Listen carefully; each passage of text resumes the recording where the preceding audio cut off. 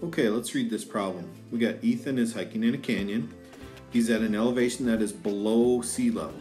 His elevation is within 200 feet of sea level. Which of the following could be Ethan's elevation in feet? I want to draw a little model to help me out with this one. So let me grab a pen here. The top of my column, there's sea level. So this is everything below sea level. Now think about this. If you jump into the water and you're at 10 feet, which is minus 10, and you go down to 20 feet, which is minus 20, which is deeper? Well, the minus 20 is deeper. Okay, so now let's start thinking about negative numbers here because we are below sea level. I'm going to draw a little line here and the second clue says his elevation is within 200 feet of sea level. So this is like minus 200 this is where Ethan is, somewhere in this column right here.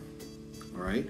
Now, if minus 20 is deeper than minus 10, then minus 300 has to be deeper than minus 200. Okay, so Ethan cannot be in this part of the column. All right, we can eliminate this number, D, because that's positive. We can eliminate C because that's also positive. We can eliminate A because that's too deep. So where Ethan has to be is in that canyon is at 150 feet below sea level. Watch this video again as many times as it takes to uh, do a problem involving integers.